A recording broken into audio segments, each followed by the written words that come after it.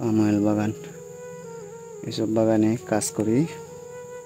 মালয়েশিয়াতে দেখেন, এই যে ফল কাটছি আময়েল বাগানে। এই যে ফলটা দেখেন সব ফল কাটছি। আর এটা হচ্ছে আমার পাইপ। হ্যালো এভরিওয়ান আসসালামু আলাইকুম এবং নমস্কার সবাইকে।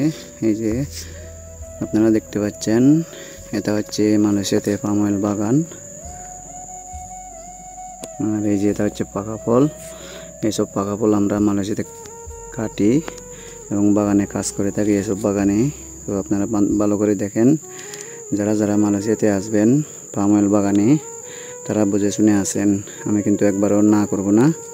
আপনারা ভেবে অনেক ভেবে চিনতে আসবেন। এসব বাগানে কাজ করতে গেলে অনেক কষ্ট হয়। অনেক পরিশ্রম ভাই। অনেকেই তো বিদেশ যাব বিদেশ যাব, এরকম স্বপ্ন থাকে বা যে কোনো যে কোনো কাজ পারব এরকম বলে থাকেন। কিন্তু আমি আমি অন্তত না করব না আসতে, কিন্তু অনেক ভেবে চিনতে আসবেন। এই যে দেখেন, এগুলো হচ্ছে মালয়েশিয়া পাম অয়েল বাগান।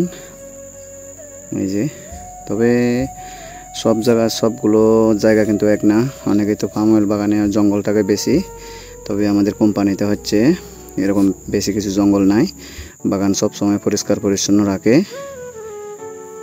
এই যে, এগুলো হচ্ছে মালয়েশিয়া পাম অয়েল বাগান। পাম অয়েল ফলের বাগান আর কি, এসব বাগানে আমরা কাজ করে থাকি। অনেক লোকজন আছে বিভিন্ন দেশ থেকে।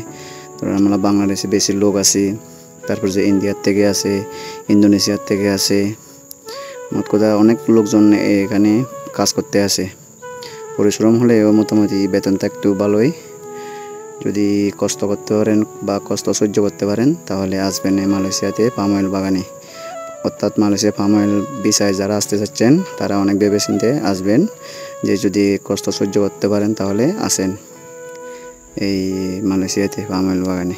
এই যে, সবগুলো এরকম বাগান, এগুলো হচ্ছে ছোটো গাছ এবং অনেকগুলো বড় গাছও আছে। ঠিক আছে, ভিডিও আর ভিডিওতে যদি ভালো লাগে আপনাদের, অবশ্যই সবার মাঝে সরিয়ে দেবেন।